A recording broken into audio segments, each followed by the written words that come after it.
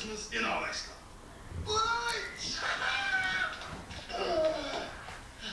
Everyone, everyone, this is my friend, mentor, and former cellmate, Bludge. What's up? Cellmate? What's up? Um, um, hello. Hey, um, um, we're all thrilled you're here, but why? Because Josh wrote me saying you guys were trying to have some kids out for Christmas. He's my pen pal. And the real Santa wanted me to bring you guys these. Check. By Black Shifter 2.